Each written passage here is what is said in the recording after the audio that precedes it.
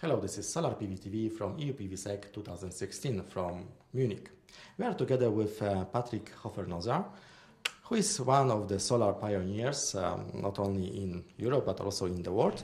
He was founder of uh, the company, well-known company uh, 3S. Then afterwards, when the company was acquired by Meyer Burger, he became the head of energy systems at Meyer Burger. Hello. Hi, hi Thomas. Nice meeting you. So, as you are a pioneer, let's say one of the pioneers of the solar industry, what do you feel about uh, this year's uh, EUPVSEC? Did you notice every, anything interesting that you would like to share with the, our audience? I see. I seen that the quality of the papers we have and the quality of the people attending is very high.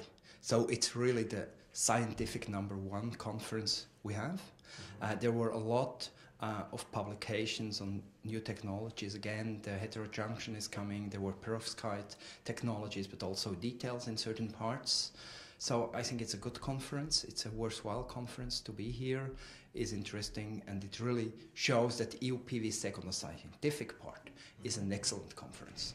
So, Patrick, uh, you are observing, let's say, the e- equipment market from the beginning. In the recent years, people were mainly focusing on the scaling up they were not thinking too much about the new technologies, about upgrades. But I think that this year is quite interesting, yes, because companies they start again to buy equipment, especially for for the heat technology, for PERC technology. Could you comment on that? Yeah, we had a large overcapacity, mm-hmm. and now the end market comes in the range where the capacity is. So of course there's a next cycle to invest and uh, also to expand the capacity let me tell you a little bit about the market.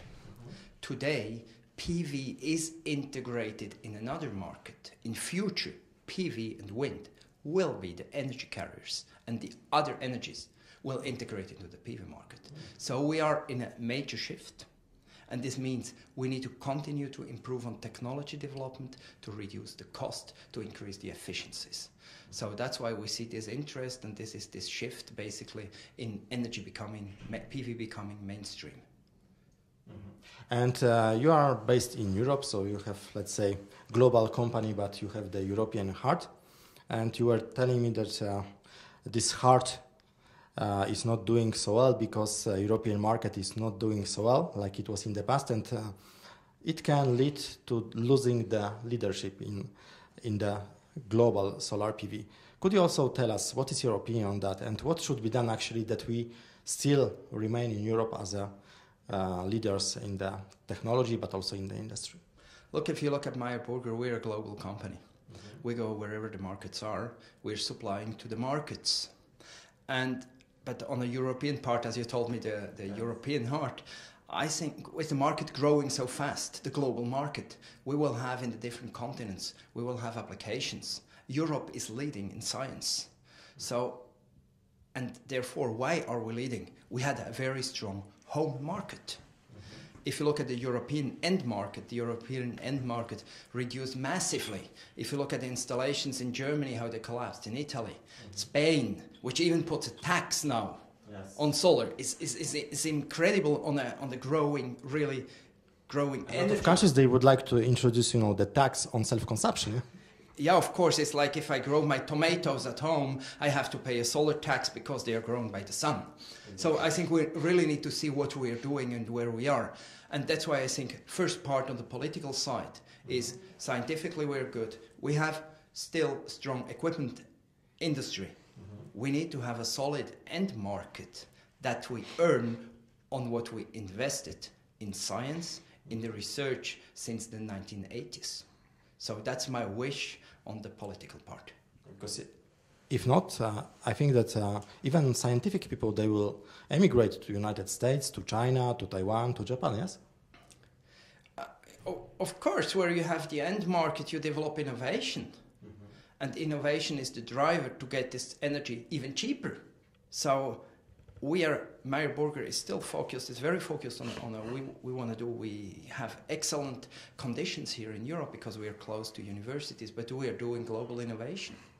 And on the long term, you always see that where the big markets are. Uh, on the second step, you have also the supply chain coming, and then you have also the R and D coming and the science coming.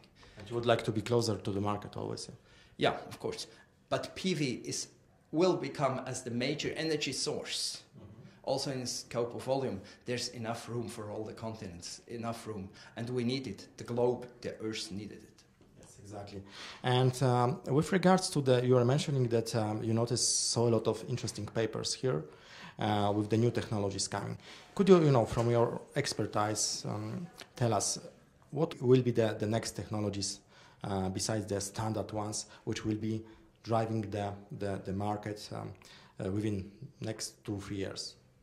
Look, if you look at the next two, three years, basically, if we're talking about market volumes, then it's technologies we have today. Mm-hmm. This is technologies we, Meyer Burger, continue to innovate and continue to invest in R&D, even the market was down. So these are these technologies, this, which will come beside the conventional technologies, the upgrades which are done. So more upgrades there's on the one side the upgrade if you say two three years but of course we also see the heterojunction technology uh, with smart wire interconnection of course which will come. And uh, a bit uh, in the bit longer perspective? We will have continuing on the development on the roadmap. Uh, I see newer technologies. It takes always longer than you expect until they are in the market, and uh, so we will continue on the innovation and there's a lot of publications if you see very interesting here uh, which will t- need time until we go into the industry we need to see that the learning circles uh, learning cycles are the speed is increased so that we have good conditions if I make a little in Switzerland, we have a pilot and demonstration projects on the end mm-hmm. market, which is really useful, and then you can enhance and go to these increasing technologies. But the map today, the technology is available mm-hmm. to solve the growth we need to have and the growth after Paris, of, after COP, which we want to have in PV. So, what would be your uh, recommendation for the next EU PVSEC? Keep a very high scientific standard, keep it as the scientific conference mm-hmm. globally, focus on this where we're really strong, and uh, keep it as the, the scientist biggest scientist conference in the world for PV and be really push it to the quality. And you, you're gonna, of course, come for the next edition. Yeah? Of course. I'm here since many years. I've seen how it grew from small parts. I've seen uh, the, the conference growing, and uh, I think it's a very important conference. So thank you so much, and uh, we see each other on other events, but of course on EUPVSEC 33rd edition in 2017. Thank you so much, Patrick, for, for your comment. And I wish you also all the best uh, with Meyer Burger. Thank you so much. Thank you very much.